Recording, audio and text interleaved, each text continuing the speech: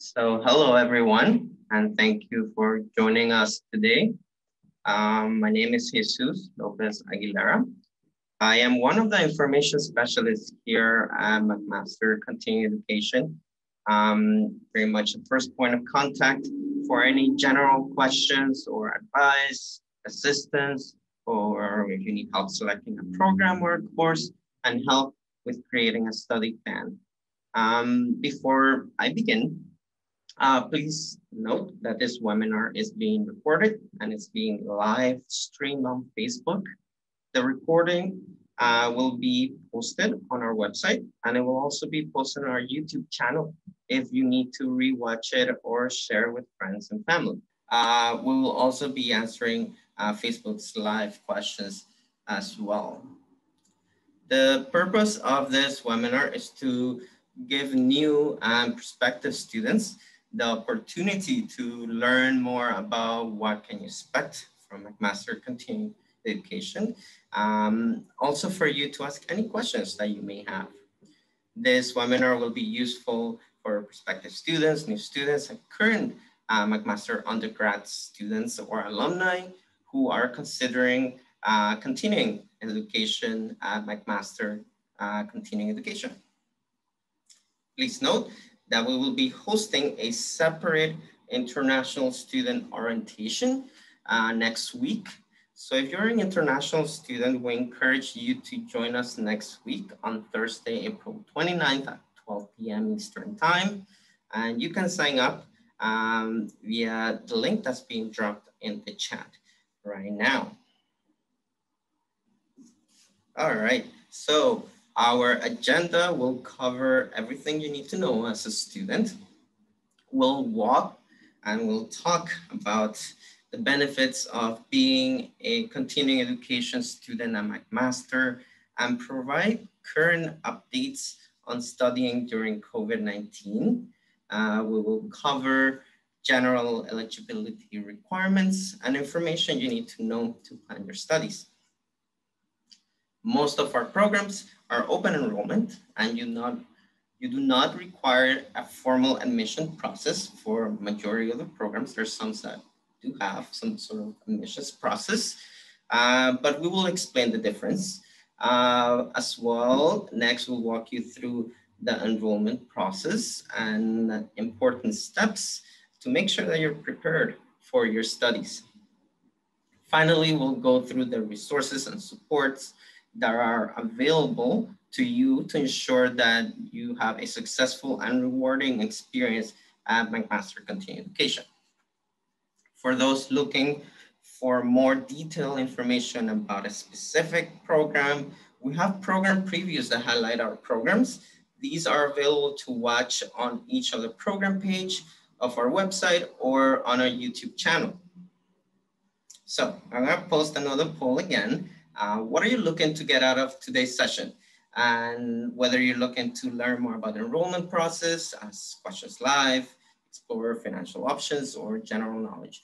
So I'll be posting this right now. All right, so welcome to McMaster Continuing Education, MCE. Um, McMaster Continuing Education has inspired people to discover and achieve through lifelong learning since 1931. So we're located downtown Hamilton, Ontario in Jackson Square. Uh, we're one of the largest and leading providers of certificate, diplomas, professional development programs and courses. So whether you're, you're wanting to upgrade in your current field, reskill or earn a professional designation, we make a career change, we offer flexible quality uh, online courses that will help you reach um, your specific goals. So what are the benefits of taking continuing education courses? So students value um, the industry specific expertise of our instructors and the in-demand skills and knowledge to help them get ahead of their in their career. We offer more than 200 diverse courses and workshops that blend both theoretical knowledge and practical application to help expand your skill sets and advance your career. Many of our students are working professionals with families and other responsibilities trying to advance their career while juggling other demands. So to accommodate these busy schedules, our online courses are flexible and convenient and offer options to study on weeknights and weekends. Most of our programs have multiple um, start dates each year um, with online self-paced courses that will allow you um, um, your coursework to be done when it suits your schedule. Depending on the program, you could also earn credentials as quickly as four months, or you can also space out your courses and even take terms off if you need it. So McMaster University is deeply committed to supporting our community during the rapid changes uh, taking place worldwide due to COVID-19. So most of our programs have been available online long before COVID-19. Uh, for these programs, they will continue to operate in the same manner. So our online and online self-study courses are expertly designed to ensure high quality learning experience that is authentic and accessible to our learners. For our programs that traditionally were offered in person or that are in person, please note that we will not be offering any in-person courses this spring of 2021 term due to COVID-19. Many of the in-person courses will be offered in virtual classroom or VC format a virtual classroom format provides students with the opportunity to meet online with an, with an instructor and as well with your peers and attend a live class session during a scheduled class day and time listed on the schedule. Uh, future offerings of in-person courses are yet to be determined. Uh, please visit our COVID FAQ page on our website for the latest information. For those who are starting the accounting program, um, all courses, um, the exams will be administered using a or an online uh, proctoring service. Your exam can be completed uh, from the safety and comfort of your home.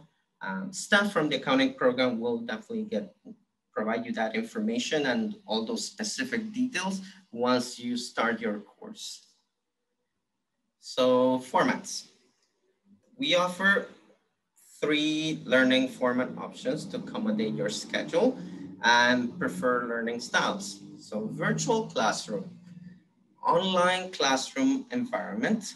Classes are held on a scheduled day and time each week and combination and uses a combination of both real time sessions and independent learning activities The online uh, has weekly readings, videos, discussion boards, uh, groups, and individual assignments. There's no weekly interaction, although there is, um, not live, but there is weekly interaction with your instructor and peers through discussions, for example, but you're not logging in at a specific time. So there's no live component to the online format. The online self-study, um, only very few uh, programs use the online self-study format, for example, the accounting program. So with online self-study, you work through the course materials on your own pace uh, within an allotted time frame. Um, assignments due on a specific um, days throughout the duration of the course. So you have some assignments due, um, but you can also fast track through them. Um, and there's no need to log in on a specific day or time or anything like that.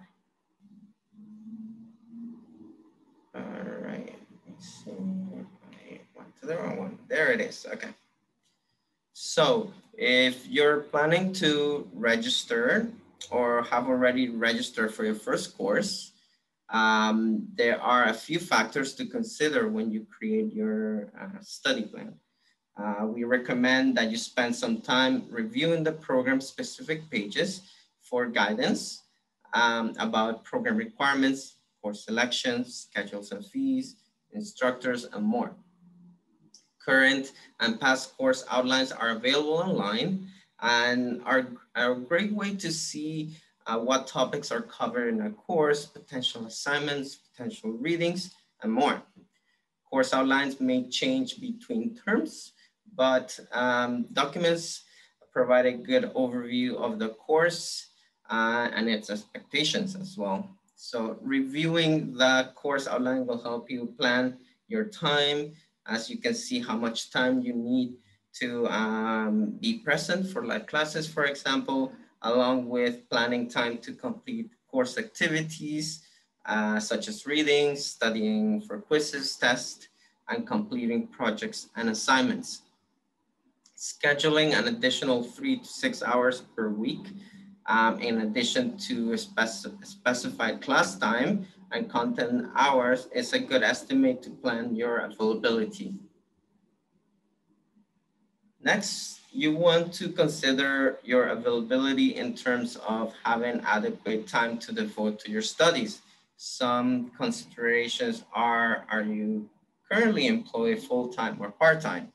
Do you have any children, family commitments, or busy lifestyle outside of work?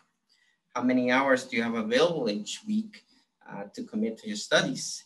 Um, how quickly do you want to get through the program so those are a few things to consider.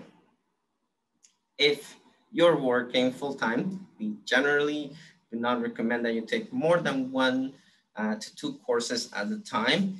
If you have never taken post-secondary education courses previously, or if you're new to online learning, or it has been a long time since you have attended school, then I will suggest starting with just one course to see how you can handle one course load along with your current responsibilities.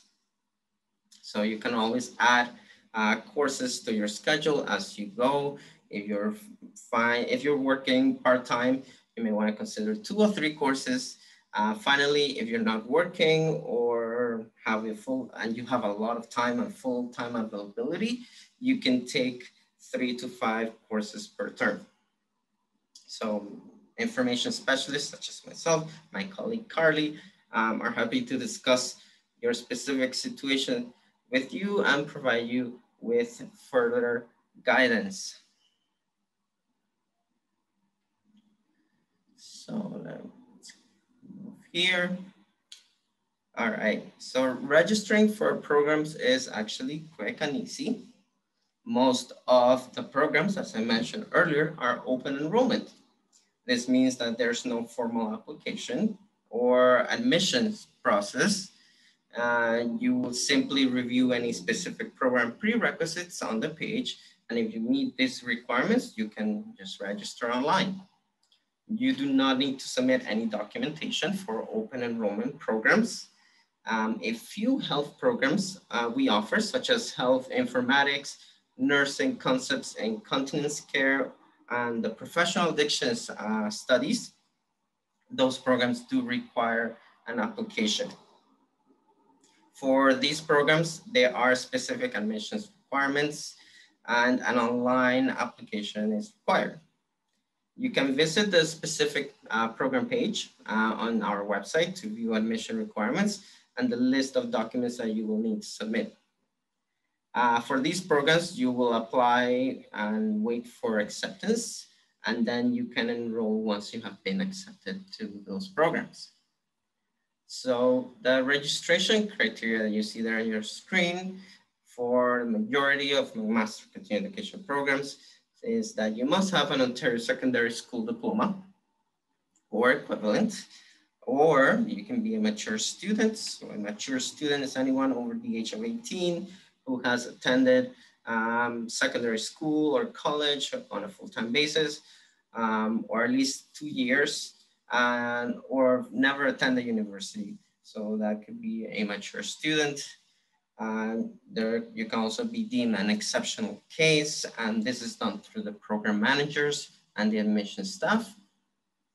And please ensure that you meet the McMaster's English language proficiency requirements if you are a new Canadian or an international student. You can refer to the continuing education page uh, um, just for more information, you will see that there are exceptions to this policy as well. For example, if you lived in an English speaking country for the past four years, then you don't need to provide an English language proficiency. All right, so the registration process, so I wanna take you to our website to walk you through the online registration process.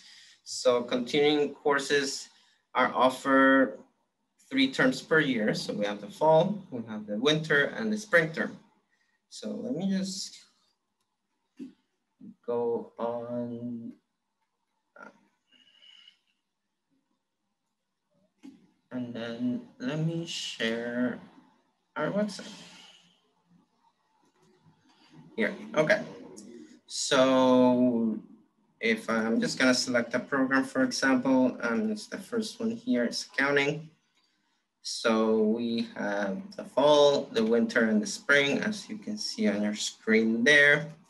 And so we do stagger some of our courses start dates. So you may end up taking a course that starts in the middle of the term and, and it goes into the middle of the following term, as you can see here with accounting. So here it, it goes from September all the way to September to February 15. So that's that's an example of that, of course starting in the middle of the fall, ending in the middle of the winter. But again, you can accelerate through this because this one is an online self-study course. But before you register, you might want to review the schedules and fees page, like this one, um, and then um, confirm that the course is available and the dates on your on this page is your schedule before you register. Um, if any change are made to the courses that you register, which is very rare, uh, you will receive a notification uh, via email. So steps to enroll are pretty easy. So most of the program pages do have this enroll now button here. So all you have to do is click enroll now. So I'm gonna click there and you can do a quick course search. Um, so for example, let's do uh, business administration. So for program, I'll select business administration, then I'll select a program plan. Normally, I like to click on the business administration diploma here at the bottom because it will display all the courses under this program. So I'll click here and I'll leave everything else blank. And I click on the go button and there it is. You can see all the courses that are available. Um, so for example, winter, fall, um, spring. Let's say I want to take this coming spring, the, let's see, business foundations online virtual classroom. Then what I'll do is that okay, check that this is the correct course, look at the class schedule because it's a virtual classroom course. And it will tell you here in the notes that this, some courses actually are held live. Um, so, and all that. Once you make sure that this is the right course for you, you click select. And then once you're ready, um, you can check out. If you want to add another course, you can go to return to the search page and then I could just uh, select another course. Uh, check here, this one, for example. So this was business communication. This one's online, so there's no set and time for this one. Um, so I will just select one. So I have two courses here. Um, once you are sure that these are the ones you want to take, you click checkout and it will direct you to another page. Um, in this other page, if you are a continuing student, you can select MacID login. Uh, you can select your student number if you have that. If you've never been to McMaster at all, meaning undergrad, graduate, or anything like that, then you can select new to McMaster. And there's also the search match login as well. Uh, for those who are who, who receive the search match option if you're registering as a new student. Um, so yeah, and then just continue. Um, and then I'm just gonna select new to McMaster here so you can see what it looks like. Um, I will normally tell students just to fill anything with the star or the asterisk here uh, next to um, the options and you can just leave everything blank and then continue. um, you will be asked for a few extra information. And then towards the end, you will be asked to provide payment. Once you've made payment, you will receive a receipt via email and you will be registered and that's it. It's pretty straightforward. So yeah, next we will be talking about budgeting. So course fees are paid at the point of registration, as I just recently mentioned. So it will be the last step after going through the whole filling information. All fees are posted on the program uh, web pages. On the page on the schedules and, fee, and fees page, you can see the cost per course. Course fees include tuition fee, and they also include the McMaster Association of part-time student fee for academic credit courses only. So those courses that are academic. If you are an Ontario resident, please note that our programs are not eligible for OSAP, sadly. Um, so no OSAP uh, funding for our courses, regrettably. So you will want to keep a budget in mind as you plan your studies. And this could deter determine how many courses you may register for each term. Overall, there are a few options students can, um, I guess, explore if financial assistance is required. So if you are working, many employers offer what they call a tuition assistance program and you can ask your manager or even the HR department to see if your company offers anything like this. Um, a, a, lot of um, employers offer these and many don't even know about it. So you may want to check uh, for that as well. Uh, the MAPS or MAPS or the McMaster Association for Part-Time Students offers a limited number of bursaries for students who can demonstrate financial needs or difficulties. So students must pay upfront uh, for the course or courses and then apply for the bursary through their Mosaic Student Center portal during the time frame indicated on the bursary information page. I will tell you more about the Mosaic system later in this presentation. If you have if you select the, the, for the bursary, the funds then will be applied to your student account. And this is something that you can apply for each term if you're taking two courses or less. Applications only open for a short time, a few weeks prior to the new term. So it's important that you visit um, the link that you can see on your screen right now. Um, it will also be dropped on the chat. So let me just, um, you can see here, um, maps, sorry, which is maps.mcmaster.ca slash bursaries um, if you're interested in that option. So um, a lot of banks as well, they do offer student loans and lines of credits that are attractive um, because they have like maybe lower interest rates, attractive interest rates so you may only require to pay interest after completion of your program. So you may wanna check that as well. For Canadian students interested in government funding or subsidized training options, for example, Second Career Canada Ontario Job Grant, please contact your local employment service center. Uh, there's Access Community Capital Fund is a charitable Toronto-based organization which offers uh, people in the Greater Toronto and Hamilton area, the GTHA, low interest loans for to internationally trained individuals interested in upgrading their skills or starting up a business in Canada. There's also Windmill microlending supports to newcomers who arrive with education, skills, and experience but face significant barriers to employment for many immigrants. Um, what prevents them from entering the labor market is lack of financial support. So Windmill offers low interest, affordable career loans up to 15,000 to help skilled immigrants and refugees to pay for cost of education and training programs, credentials, licensing, and more to reach their career goals. Uh, for more information, please visit the newcomer information page on our website. Um, so if you go to our website, it will be under mcmastercce.ca slash newcomer dash information.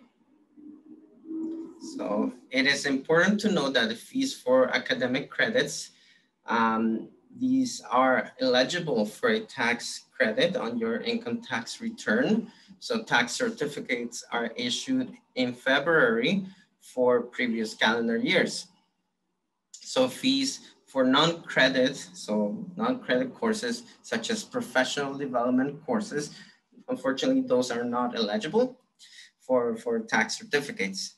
If you have any specific questions, please uh, do not hesitate to reach us out and we can assist you on our website chat or you know, reach us through the contacts form and we can definitely uh, assist you further with any financial uh, questions. So next, I did mention Mosaic earlier um, on the past few slides. So let's talk and take a look at Mosaic. So Mosaic is our administrative information system. This is where you will see alerts um, from the university. You can access your payment information, your final grades, and, uh, transcript requests, and many more. So Mosaic, um, yeah, so if you want to request a transcript, you can do it through there. Uh, if you want to check your final grades as well, if you need letters, um, so anything admin will be through Mosaic. Um, so you can enter Mosaic with your Mac ID and your password, which will be issued if you're a new student right after you enroll for your first course. Um, and then those who are continuing, um, you can just use your Mac ID and password to access Mosaic. Um, so that's Mosaic. And that's where you also apply for the MAPS bursary, which I mentioned earlier as well. And there, there will be an option to apply for that uh, through that system. Now, Avenue to Learn. Avenue to Learn, it's the McMaster Learning Management System for online and virtual courses. So you will be using this system regularly, pretty much all the time during your studies as, uh, as this is where your course content will be housed. So, so some of the programs um, that you may use um, in your course uh, may use WebEx as well or Zoom for live sessions if applicable. Um, and the Microsoft 365 allows you to use chat messaging called Teams. So there's Teams as well uh, as, as, well available for um, these courses. So you will be provided to the uh, instructions to this system um, once your once your courses um, begin. All right, so I want to take a minute and discuss a few online learning strategies uh, to help you set uh, you up for success with your online studies.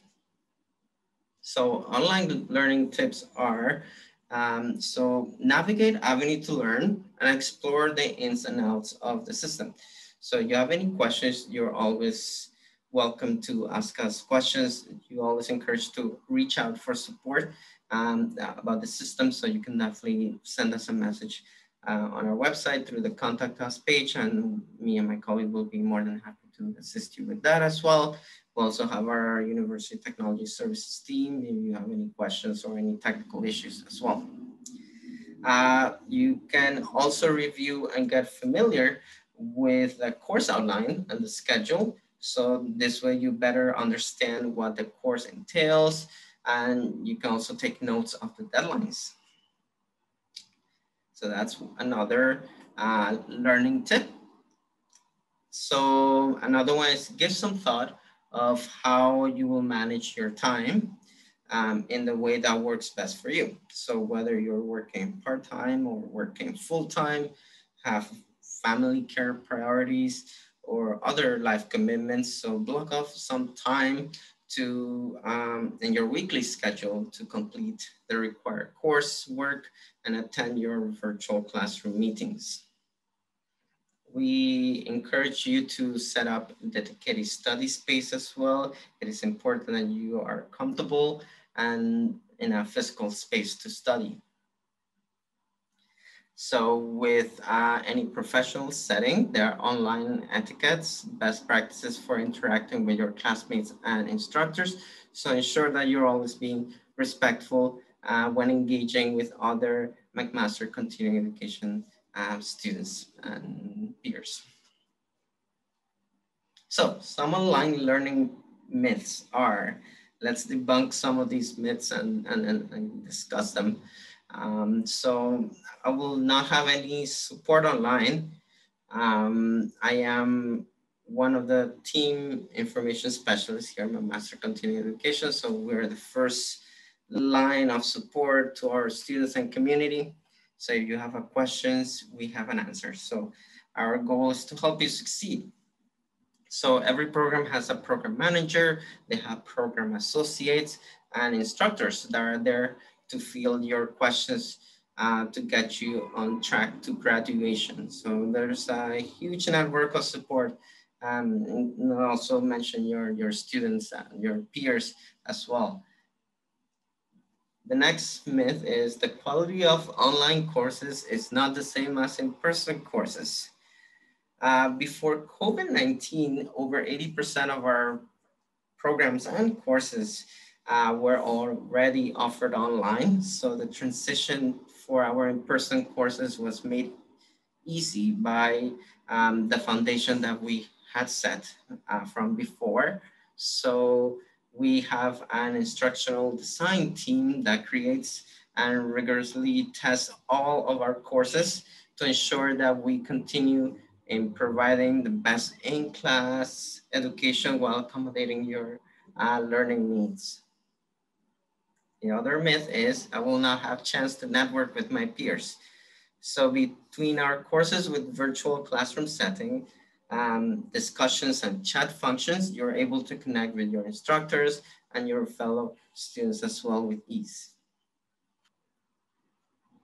So once you begin uh, your course, your first point of contact for assistance to your course will be your instructor. So they can always be reached through Avenue to Learn. And I explained earlier Avenue to Learn. So that's the system where you access your course. So there's um, uh, a space there where you can actually um, get in touch with your instructor once you have access to your course. If you're having any difficulties with the MacID login, um, please visit our MacID help page by clicking current students um, so the current students tab on our website, and, and then you can find all kind of helps there as well, or and if you have any questions about any specifics. Uh, there's also our University Technology Services uh, team that will be more than happy to assist you in resolving any issue.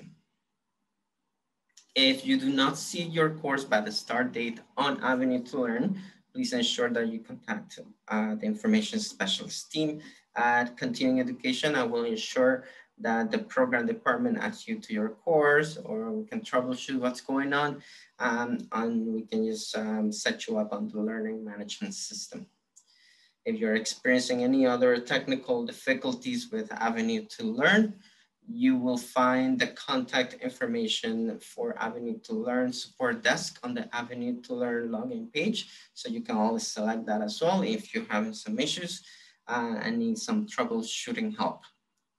So for any questions and assistance, please feel free to reach the continuing education information specialist team uh, we are happy to be the, the first point of contact and provide you with direct message and assistance and direct you to the most appropriate staff member or even department. All right, so, um, so yeah, uh, will, if you have questions, please um, use the contact us page and we'll be more than happy to um, answer more questions. So thank you for joining us today we, we, we love to know if this webinar was actually helpful to you. So please complete the quick survey. A link is being shared on the chat right now and just let us know your feedback so we can continue to provide valuable information and content for, for current and prospective students. So that will be helpful for us. So for additional information, uh, please visit our website uh, for more program details, instructors, um, schedules, course descriptions, and registration details. And if you have any questions, please contact the McMaster Continuing Education via the contact us page that you're seeing right now there on, on the screen through the website mcmastercce.ca or for the contact us page, mcmastercce.ca slash contact us. Um, so we'll be more than happy to assist you through there. So thank you again, everybody, and have a wonderful day.